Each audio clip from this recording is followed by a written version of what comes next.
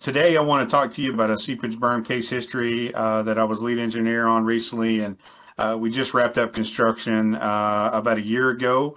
Uh, and so pretty pretty recent and uh, a lot of good information here. And so uh, we'll go through it, and then at the end, if there's any questions, please let me know. So we'll go ahead and get started here. so as far as what we're going to go over today. Uh, as far as learning objectives, we're going to uh, identify some potential failure modes. Uh, if you haven't already, I'm assuming this is going to be an item. Uh, you'll get a brief introduction to risk assessment. So, so we'll look at the potential failure modes on this particular project. Uh, we're going to look at some of the definable features of work uh, that were installed. look at data evaluation and data collection and then uh, explain the uh, inverted filter berm or seepage berm that we designed on this project uh, the seepage collection and, and, filter system that was put in. Um, also, another feature of this uh, phase of work was we had some slope instability issues, and so we addressed them. And so I'm going to talk a little bit uh, about them as well.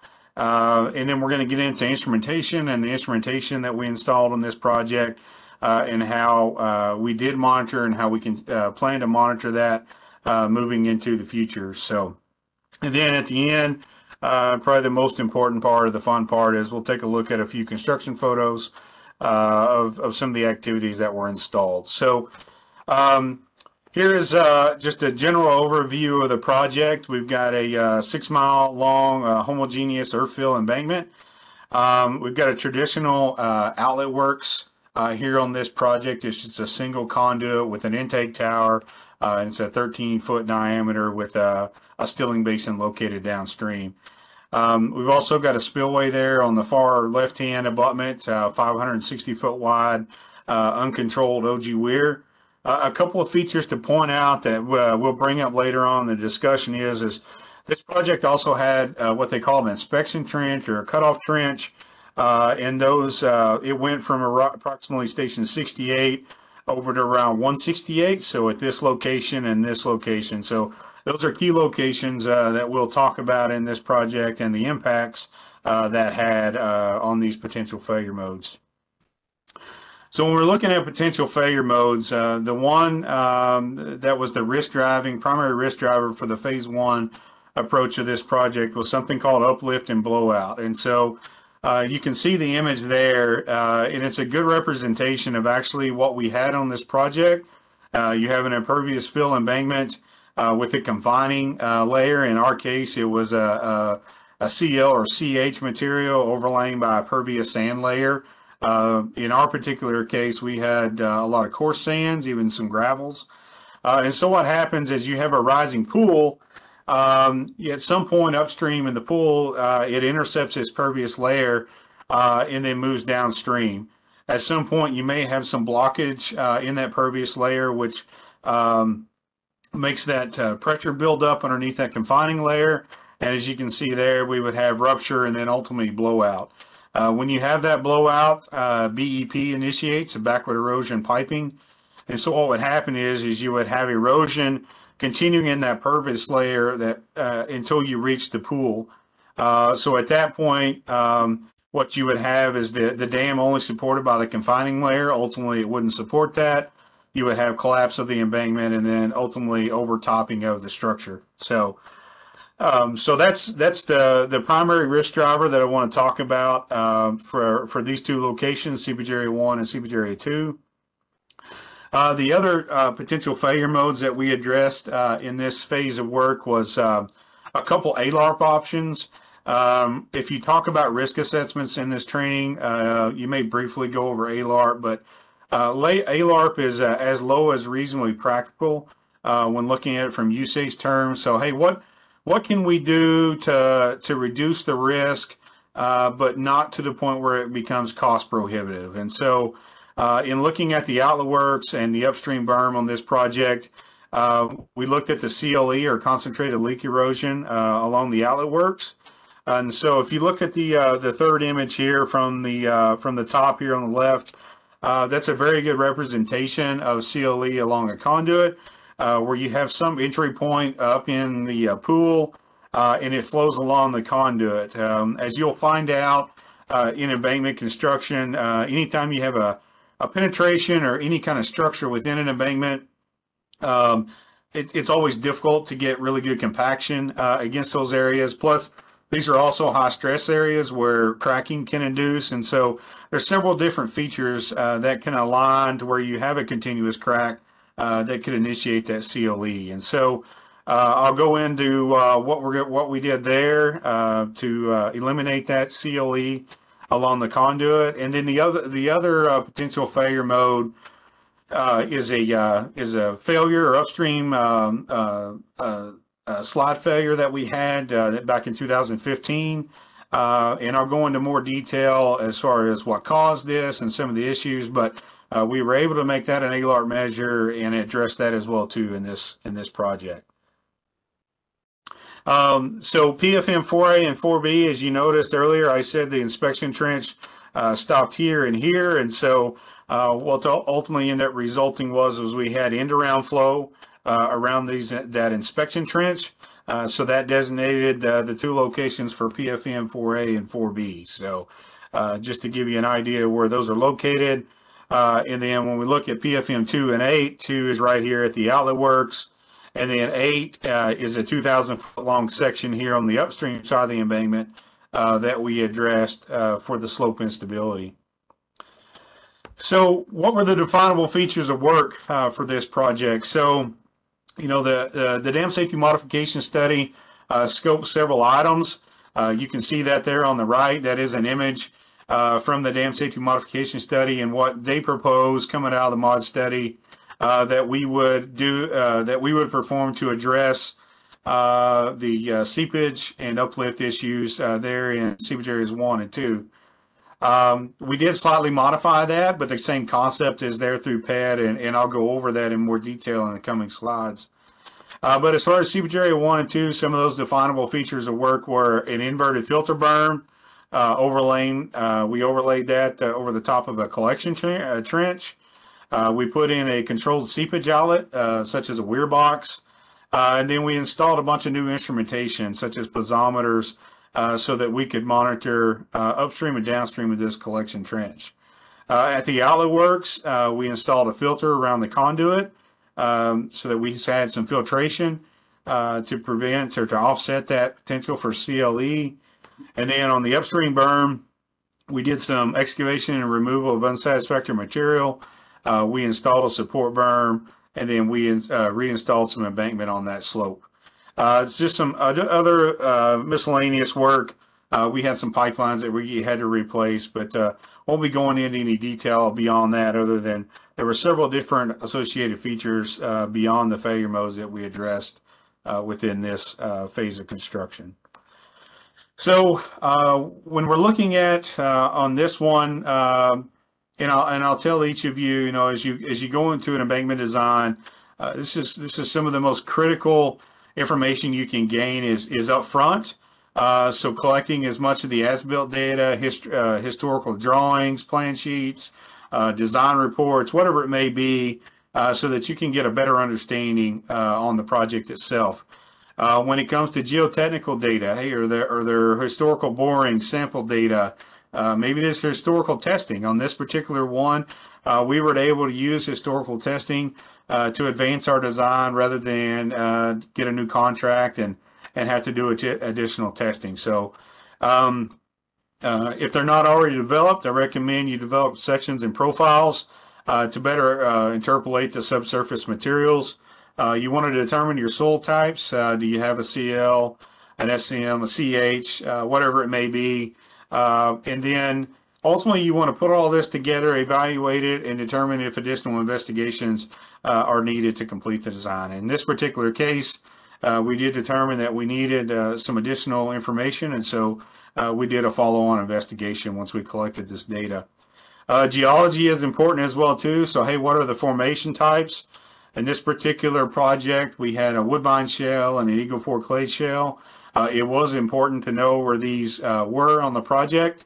Uh, one was a sandier type material, one was a, a, higher plastic clay shale. So it was important to know uh, with the source material when we were particularly looking at borrow areas and how it impacted our design.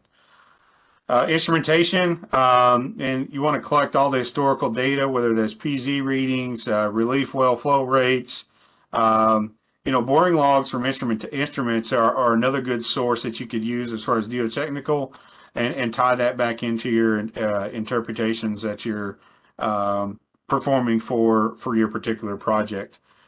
Um, gather historical data for all types, piezometers, inclinometers, settlement pins, seepage collection flow, and much, much more. So, so uh, I want to jump into the first definable feature of work here, uh, which was the inverted filter berm. This is actually what was designed and constructed on this project.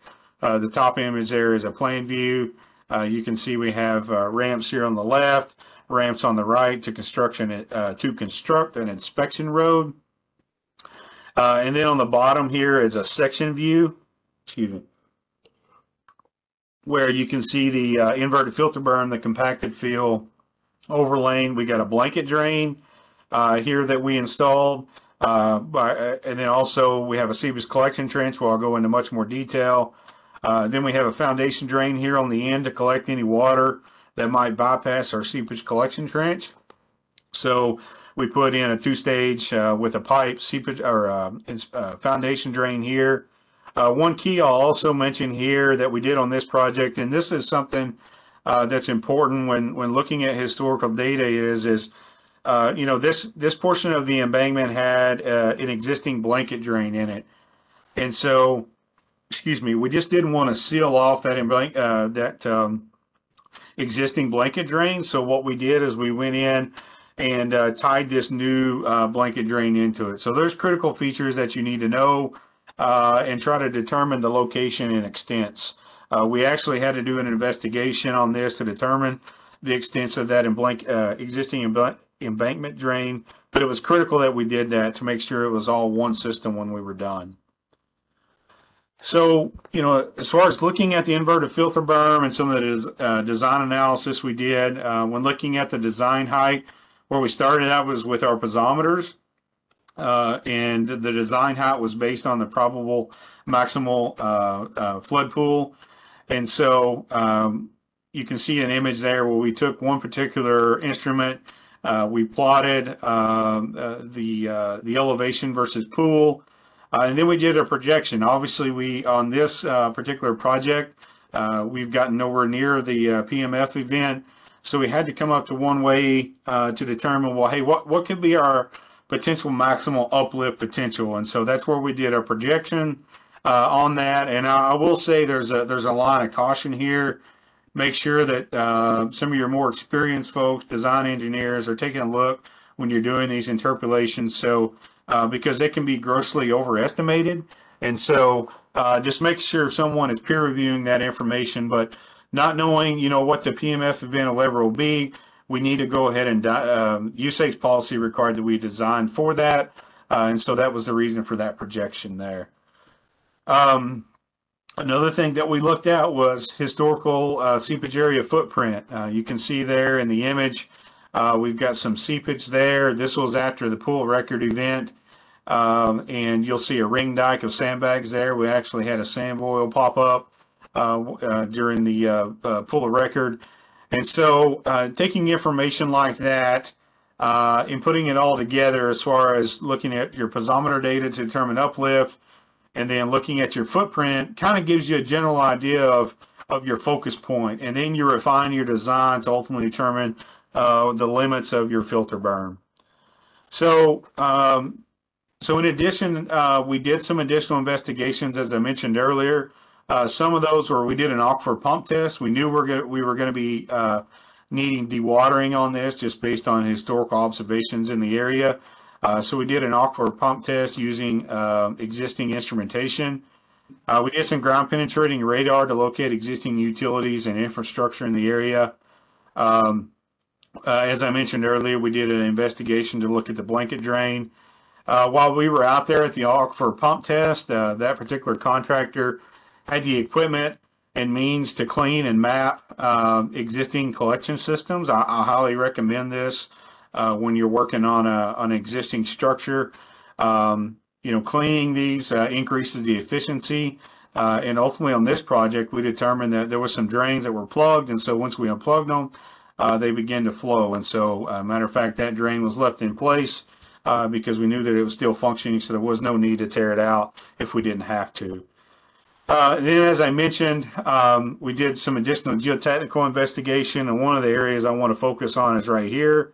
Um, the green is a confining layer, which consists of CL and CH materials, uh, and then the brown zone there is is our uh, pervious layer. Uh, so as you can tell, based on this cross section, we have a fairly thick confining zone, and then you get to these stations here, uh, and then it really narrows up. And so uh, right in this area here is where you saw the ring dike for the sand boils. Uh, that's where that's where that occurred during that pool of record event. So we knew that this was our focal point, uh, and this is where we took off as far as uh, looking at the footprint of our inverted filter berm. So we also did some seepage analysis. So uh, we utilized uh, GeoStudio SeepW.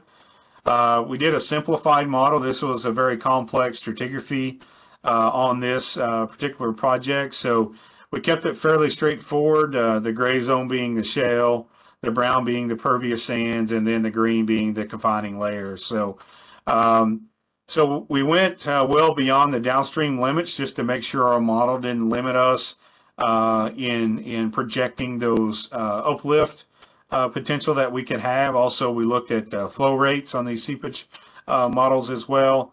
Uh, one of the key features with these seepage models is is is we ran a calibration at a lower pool, at a known pool uh, that we had data that could support uh, and calibrate our model.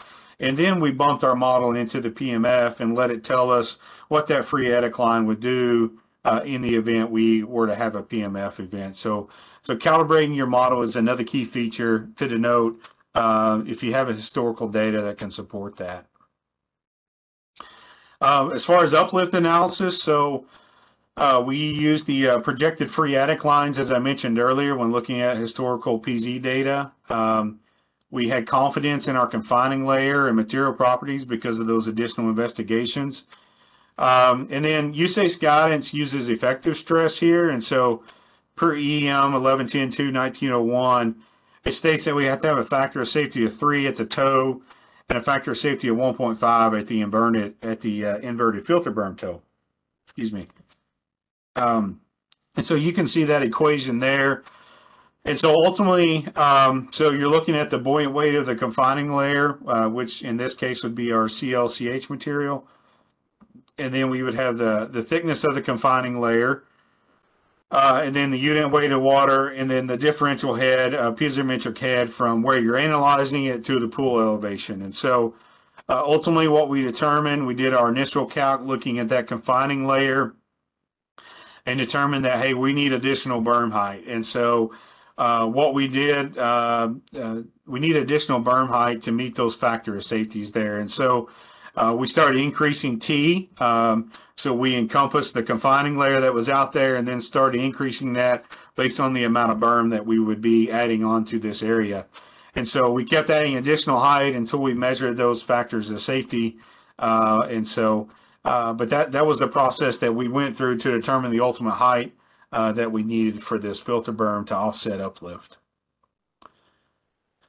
So to transition out of the filter berm into the uh, seepage collection system, uh, the image here on the left is a, is a copy from the uh, the construction plans. Uh, we had a three foot uh, zone of blanket filter, which was C33 fine ag. And then we have a seepage collection trench, a two stage seepage collection trench with a fine ag and a coarse ag, and then an 18 inch diameter perforated conduit. And then we have a new uh, feature here. Um, you may have not seen or heard before, but uh, we call it a vertical filter drain. And so here on the right, you can see what that looks like from a top view. Um, we have a four foot diameter circle with an 18 inch uh, diameter uh, inner circle with coarse ag, and those are on 10 foot centers. And so uh, I'll go into more detail. Actually, I think the next slide here. So so the goal here was uh, designed to allow a pathway from a lower elevation uh, to a higher elevation. So uh, the thought was was we would intercept some of those seepage flows that were flowing right against that shale interface. uh, and we would have a way for them to be moved and, and then intercepted and, and brought to the surface into our conduit and transported to a safe outlet. So I think one of the key things to point out here is, is um, some of you may have seen continuous filter uh, trenches. Um, really, uh, this wasn't needed on this particular feature because we had the berm in conjunction with this. We didn't feel like there was a need to have a continuous cutoff or a filter trench there. Uh, so it's fully expected that seepage will continue to migrate downstream. However, what we've done is is that we've uh, reduced our gradient potential. Uh, as you can see there, we've, we've reduced the gradient because we've increased or we've added our berm, which increases the length uh, when looking at our gradient. And then we reduced the hydraulic head potential uh, that would offset uplift, but not only installing the seepage collection trench and vertical filter drains, but also the overburden weight of that inver inverted filter berm. So as I mentioned earlier, this was a two-stage filter design. Uh, we made sure that the fine ag was compatible with the in-situ materials uh, and that the coarse ag uh, would handle the uh, seepage flows uh, that we determined from the aquifer pump test uh, and that they were also compatible with the fine ag. So um, as far as the, the vertical filter drain just continue here, we utilize.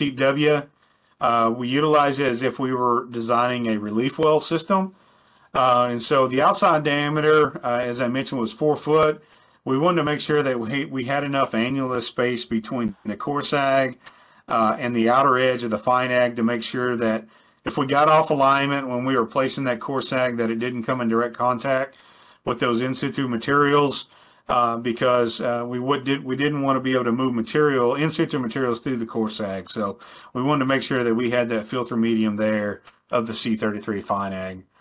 Uh, when it comes to compactive effort for those vertical filter drains, we flooded the coarse ag, uh, and then the or flooded the fine ag, excuse me, and then when it comes to the coarse ag, uh, really we were just placing that, and we vibrated in place just to make sure that we didn't have any uh, uh, heaving uh, when we were placing that. I'll show some photos that'll that'll better represent uh, what we did there on the coarse ag placement.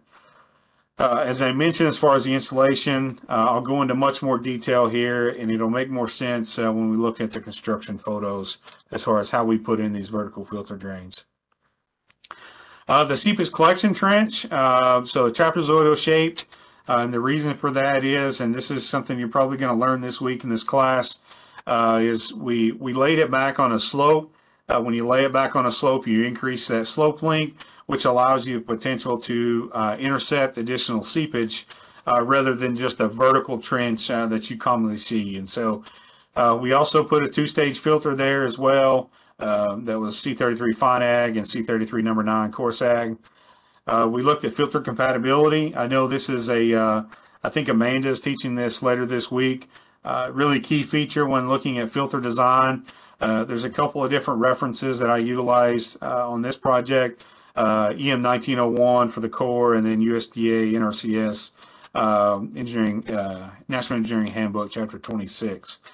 So uh, you just want to look, we looked at the filter compatibility between in situ and fine and then fine and coarse. one of the challenges with this project is, is we had some very fine in situ materials when you just ran straight compatibility calcs, um, uh, the uh, would tell you that your um, C33 FineAg was still too coarse for the in situ uh, uh, fine materials.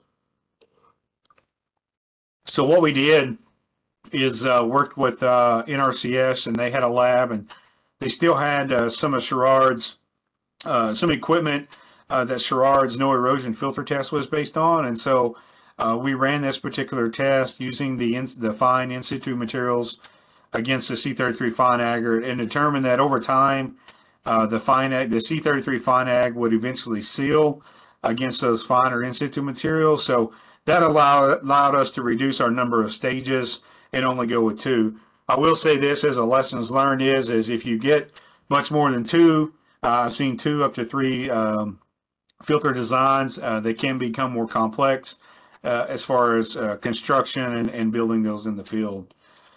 As far as compactive effort, uh, we did 100% max dry density uh, according to ASTM D698. Uh, this was a process that Danny McCook developed and ultimately determined this is approximately 70% relative density. It's a good fill technique because uh, ASTM D698 is what you do for compacted fill um, in looking at your compaction there. So it's a relatively um, straightforward test that the labs and others know. Uh, Coarse ag, uh, we looked at 40% relative density uh, when, when we were uh, placing that material. I think the big key or big takeaway here on filter placement during construction is is is make sure that you're not overly compacting. Um, if you do over compact, uh, you have the chance of breaking that material down, which thus uh, reduces your filtration and then also significantly reduces your permeability, which could actually do more harm than good, depending on where this material is being placed. Uh, Seepage collection trench uh, design analysis. Um, as I mentioned earlier, we did an 18 inch uh, perforated profile wall pipe. Profile wall being that we had a smooth interior and a corrugated exterior. Uh, we utilized our aquifer pump test that we used for our dewatering design. We took those uh, conductivity, hydraulic conductivity values, looked at the flow rates, and that's ultimately what we uh, designed this conduit off of. We looked at some Bureau of Rec standards, um, and based on that, uh, max flow depth within your pipe uh, is a quarter of the pipe diameter. The key with designing conduits for filter systems is is the you don't want to get pressurized flow. Uh, so that's the reason for for having that reduced um, depth uh, within your conduit. So it builds in some additional factor of safety. Uh, we did perforations on this pipe, um, and so you can see the equation there. It's a coefficient times the area uh, times your gravitational constant uh, divided by the head uh, of the of the water in, or entering the pipe. Uh, the entrance coefficient we used here is 0.67. That is key uh, to the uh, perforation design, as it can have significant impacts to how you to the size and and how many perforations you need. The key here is making sure your perforations are compatible with the material that goes up against the pipe. Uh, we also did a structural analysis, um, and that was one of the benefits of the the Contech A2000 is is by these corrugations, uh, we had some additional ring strength uh, that we could rely on when placing these uh, where we had significant fill over the top. These red circles here are, are highlighting the perforations. Uh, there was actually three quadrants, uh, or I'm sorry, two rows of these, and this is actually in the stockpile. We actually placed these on the bottom side when we put them in the trench. Uh, that way, as soon as water got to that location, it was entering the pipe and going downstream to the outlet section. Um, so we did a traditional weir box design, uh, pretty straightforward. Uh, we we put in some stainless steel V-notch weirs so that we could measure flow coming out of our seepage collection system. So uh, so a couple takeaways when it comes to seepage collection trench and, and uh, construction. Uh, test sections are key anytime you're putting in a blanket filter or a seepage collection trench. You want to be able to understand uh, the contractor's processes and approaches. So, so test fields are a must. Uh, the trapezoidal section uh, um, can be difficult to construct. Um, what I would say here is let your contractor use their imagination to how they can make it work and be efficient for them. Um, we call them bat wings. They welded some bat wings on a uh, trackhoe bucket, and we're able to cut that um, uh, trapezoidal section quite well uh, on this project, and it worked out really well. Um, the other key takeaway or lesson learned on Lewisville was maintaining existing instrumentation. Um, you want to maintain existing instrumentation as long as you can until it absolutely has to be removed. Um, a valuable lesson learned was as we took instrumentation out too early on this project, and uh, we could have utilized it to monitor rising pool elevations uh, to determine what impacts it might have on our construction zone. So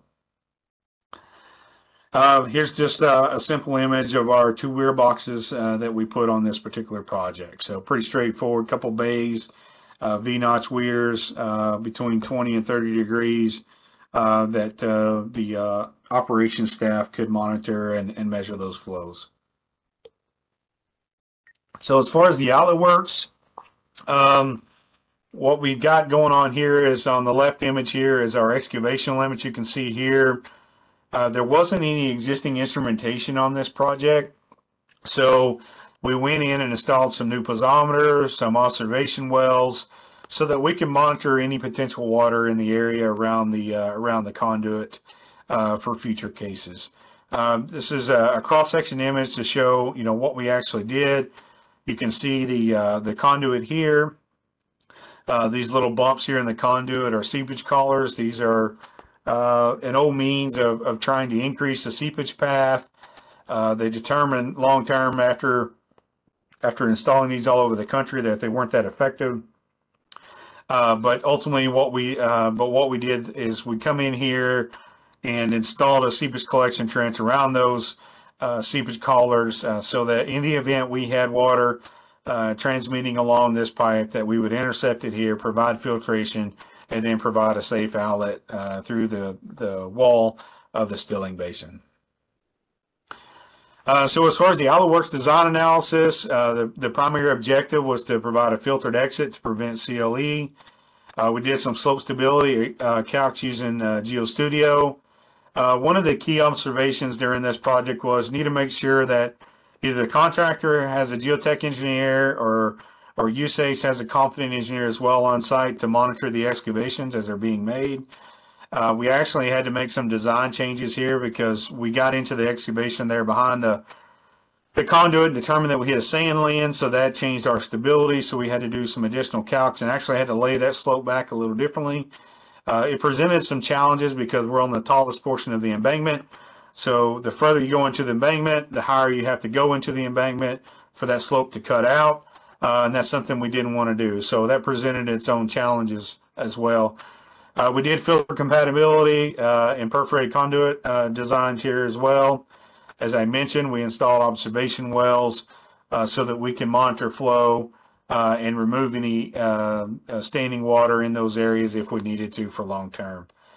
Um, some takeaways on this when you look at construction is is consider construction techniques when designing you've all heard at some point in time in your career and if not you will hear that everything looks good on paper uh, this is one of those instances where uh, I'll jump back up. This this vertical section looks pretty straightforward here, uh, but uh, in construction it presented its own challenges because uh, it was a confined area and it made it difficult to excavate.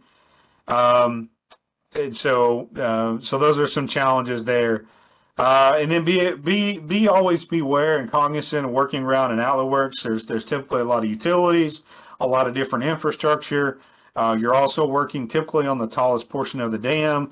Uh, so really, when you're looking at overburden and slope stability, those are all key items that you need to need to be paying attention to. Uh, upstream berm. Uh, this is a cross section of what we did here on the upstream side.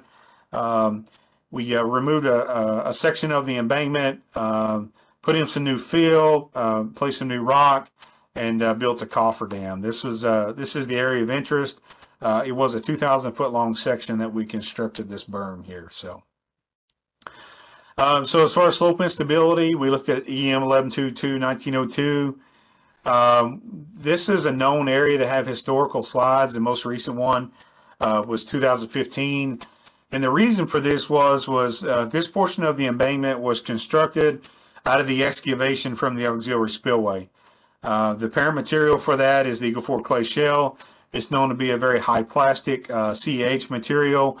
And so uh, in this part of North Texas, uh, you have wetting and drying cycles. And so desiccation cracking is, is prone in this area. So what happened in this particular event is, is we had a dry spell, then had significant rainfall.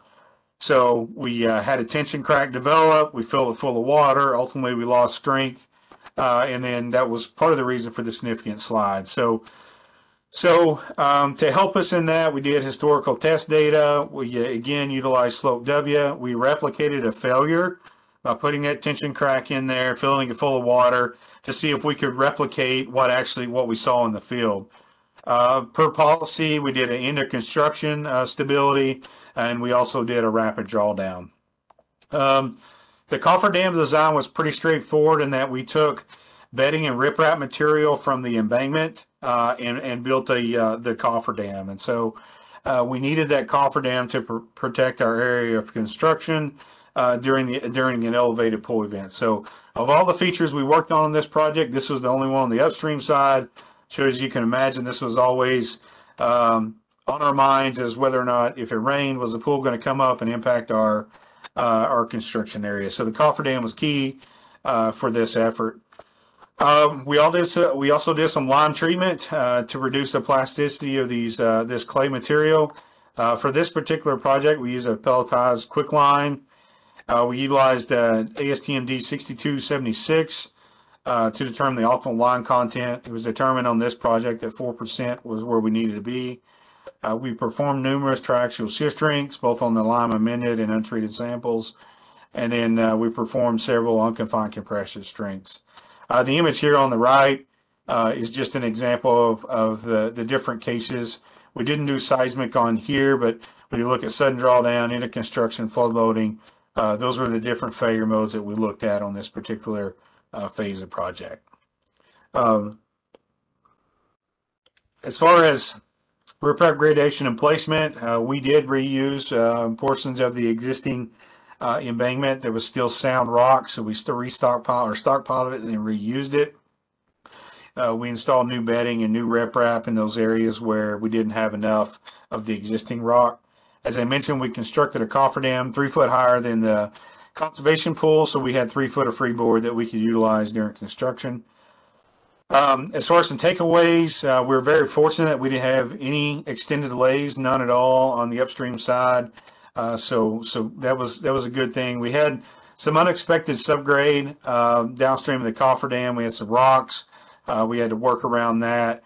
Um, consider riprap, uh, riprap reuse. Uh, this was a conflict we ran into with the contractor in that um, if you're going to reuse rock, you need to have criteria in the specs that specifically lays out um, regrading that material and how you want to put it back on the embankment. So uh, during design, uh, consider access points. Access was very difficult throughout.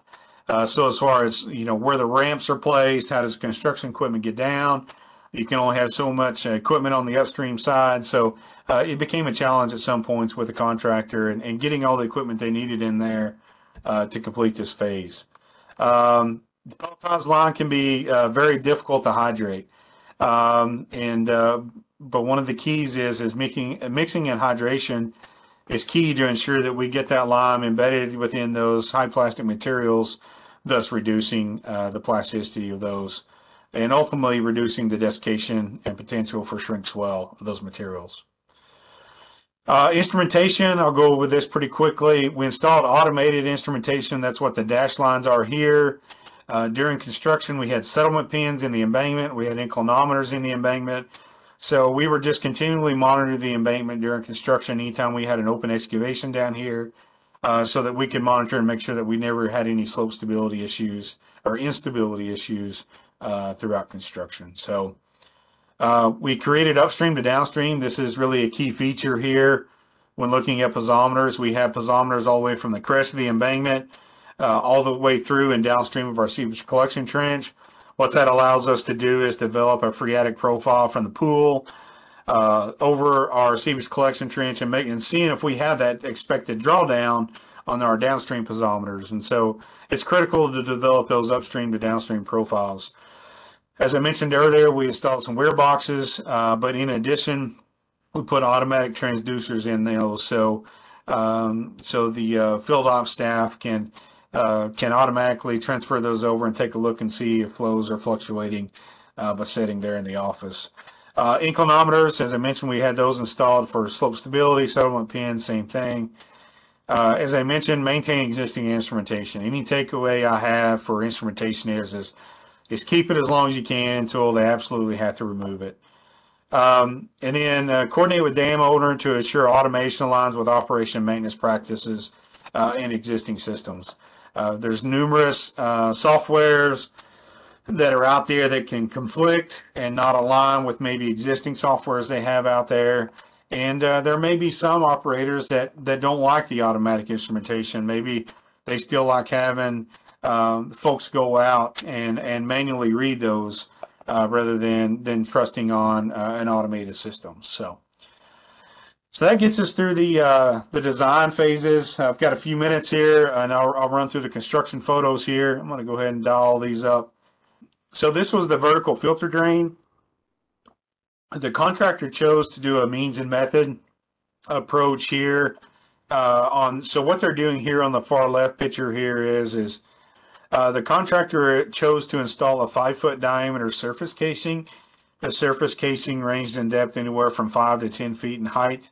I'll show you where this really came into play uh, as to the reason why they did this. So they installed the surface casing, and then once the surface casing was installed, uh, they went down hole with their four foot diameter uh, drill pier, uh, traditional drill pier equipment.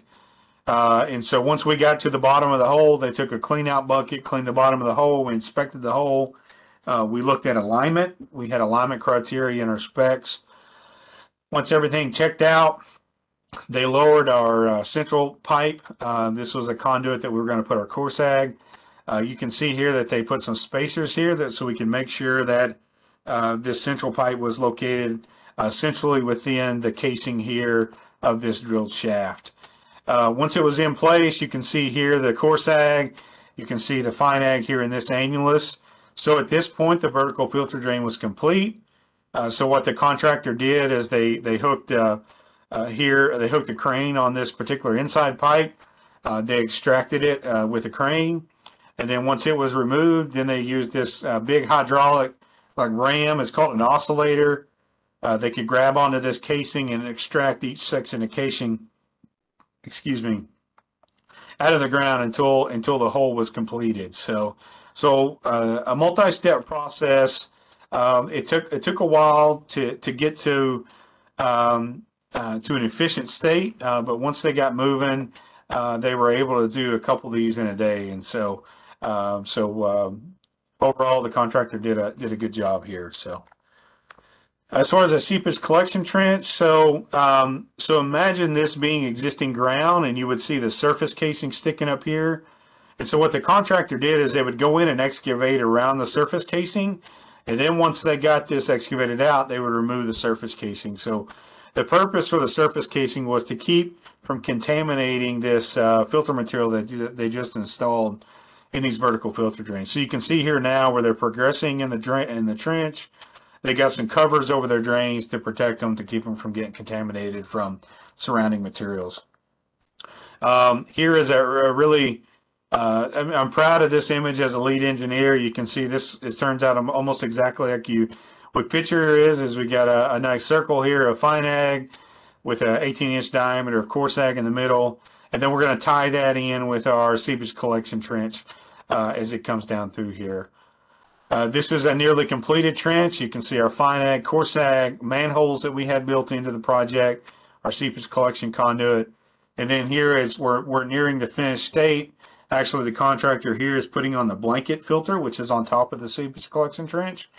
Um, and so, um, so pretty much wrapping up from that phase. Uh, you can tell from the patterns here, the contractor used a double, uh, double drum roller uh, to place this material here. So.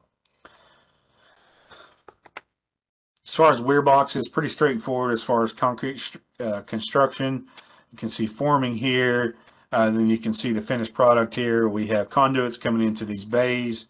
Uh, we got our, our uh, uh, weir plates here uh, that we can go up and monitor flows. Um, and then this is just a, a close-up of the weir plate and the pipe coming through. Um, you can see here, it's, it's, it's not very definable here, but we have some, some wires coming down, those automated transducers are actually located within the pool here of each of these weir boxes. So, so the uh, the outlet works. Um, this is where I was talking about how uh, it was challenging during construction about the vertical sections. Uh, so um, we couldn't get nobody down in this uh, due to safety reasons, uh, trench safety. Uh, so we end up placing this in lifts and flooding it. So you can see the contractor here uh, we just got through placing a lift and now they're going in and flooding it uh, and utilizing flooding for compaction in this confining zone. You can see we're coming back out of that trench. You can see these seepage collection collars uh, that I was talking about earlier. Uh, contractors utilizing a skid steer. Uh, one of the things to think about when you're building your specs is, is um, uh, the double drum roller wouldn't be allowed in this area because we had restrictions that they couldn't be within three to five feet of a, of a permanent structure. So uh, all of this was done with uh, sand plates or hand compactors. Uh, so the level of effort increases when you're around these uh, these structures like this. So, uh, final slide. Um, So when looking at photos here, this is on the upstream work. You can see uh, our cofferdam here and some new rock that just placed. Uh, you can see where they're uh, doing some moisture conditioning here. Um, they, they've run through here with a disc and uh, getting ready to compact this zone. You can see this dozer here is placing bedding material. Uh, you can see that this is a lighter material here. So this is our lime treated material uh, that we had a one foot thick zone here that would help maintain the moisture of this uh, embankment material plus reduce the desiccation, cracking, or plasticity. Uh, this is the lime garden that the contractor utilized. Um, and so you can see the mixing equipment here in the background, but what that looks like. Uh, so they would pick this up and then transport it and then uh, spread it out here. Uh, wrapping up the berm here, you can see we're, we're bringing up the rock here on the surface. So uh, lime treated fill, bedding material, and rock riprap. So we tied all that in and, and uh, cleaned that up. So, uh, um, so I think uh, I think that gets through the construction photos. As far as what we learned today, hopefully you guys uh, have some uh, takeaways here. Um, so whether that's from ident- identifying potential failure modes, you may have failure modes on your current projects or future projects where you're looking at CLE, slope instability, uh, or looking at uh, backward erosion piping. Uh, what are some of the definable features of work? So maybe if you're reviewing a project, um, you're understanding, hey, what are those critical features that impact uh, that have impacted design and will ultimately impact construction, and whether or not those risks have been reduced.